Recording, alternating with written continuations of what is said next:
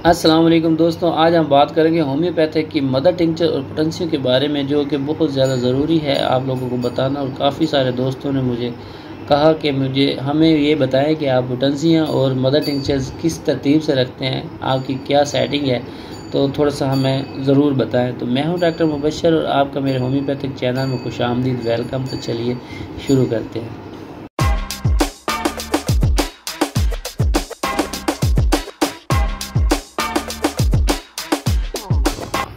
जी दोस्तों, ये देख लें आप, इस तरह मैं सेटिंग रखता हूँ। मदर टिंचर्स एक साइड पर, उनका एक मैंने अलहदा खाना बनाया हुआ है।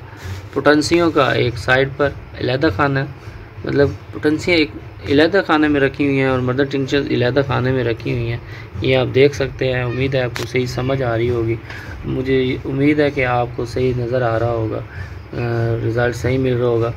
तो दोस्तों, ये मदर टिंचर जो हैं ये मदर टिंचर इनको मैंने एक साइड पर रखा है, एक सेटिंग में रखा है। मुझे बहुत आसानी से मिल जाती है।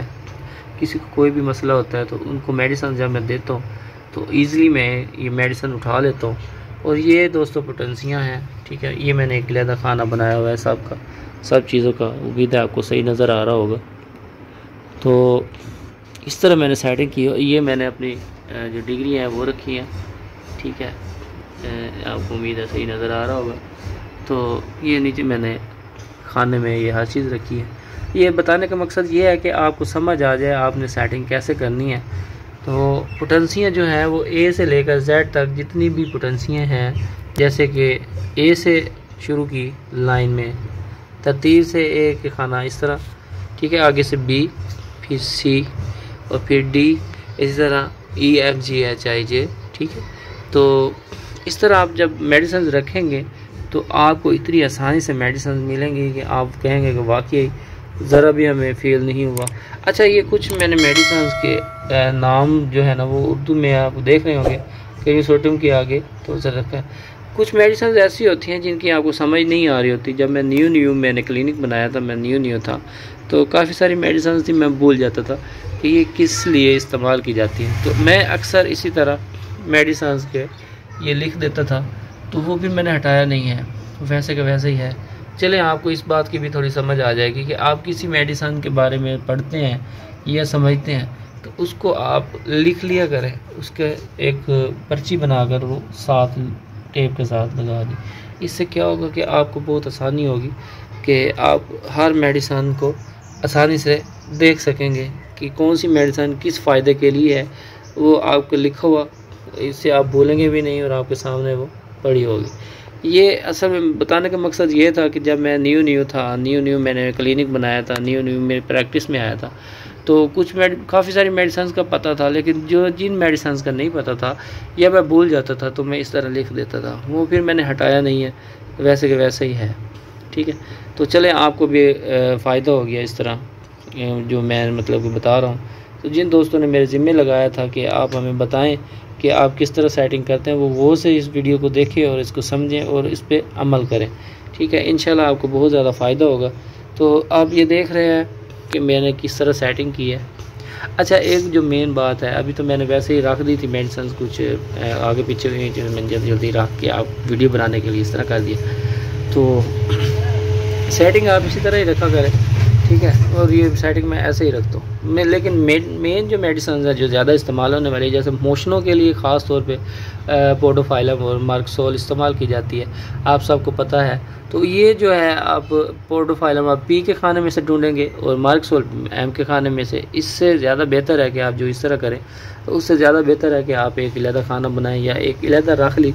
ये जैसे मतलब कि जहाँ पे आप मेडिसिन बना रहे होते हैं, वहाँ पर आप एक साइड पे रख लें। तो उससे क्या होगा कि आप जब भी पोडोफाइलम और मार्क्स और मतलब मोशनों की मेडिसिन बनाने लगेंगे तो आप फ़ौर वहाँ से, आपको पता होगा कि मैंने यहाँ पर ये दोनों रखी हैं, वहाँ से उठाएँगे और आप फ़ौर बना देंगे। उसका मकसद ये है कि आपका टाइम बचेगा पेशेंट का टाइम बचेगा और पेशेंट जो है वो जल्दी से जल्दी आपसे मेडिसन लेकर जा सकेगा।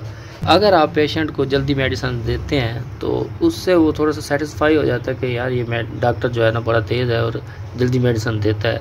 और दूसरा ये है कि वो, उसका टाइम बच जाएगा। आपका भी टाइम बच जाएगा, आपके पास पेशेंट बैठे होंगे, आप एक पे इतना टाइम लगाएँगे, दूसरे परेशान होंगे कि पता नहीं क्या वजह है कि डॉक्टर साहब बहुत ज़्यादा टाइम लगाते हैं। हम बैठ के, बैठे बैठे थक जाते हैं। तो उससे ये भी आपको बहुत ज़्यादा फ़ायदा होगा।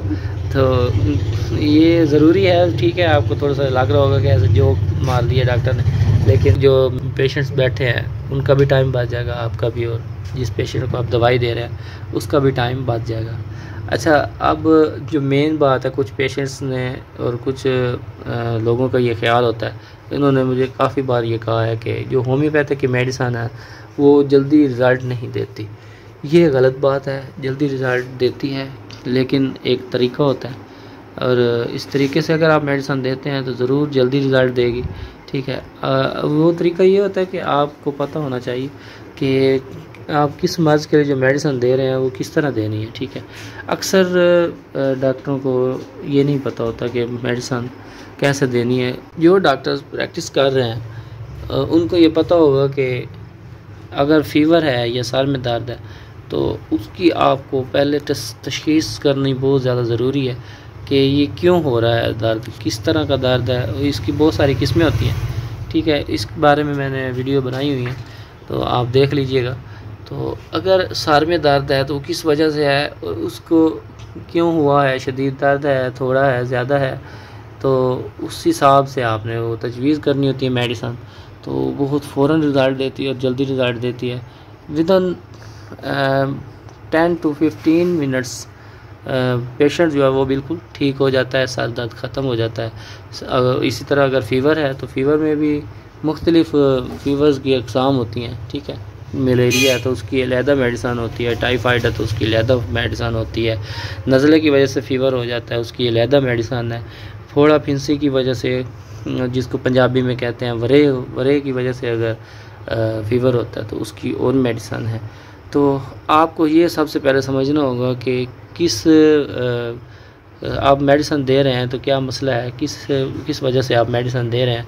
तो ये सब बातें समझने की हैं और ये बहुत ज़्यादा ज़रूरी है। जो लोग ये कहते हैं कि जो होम्योपैथिक की मेडिसन है वो जल्दी रिज़ल्ट नहीं देती तो उनके लिए मेरा ये जवाब है कि बहुत जल्दी मेडिसन ये रिज़ल्ट देती है।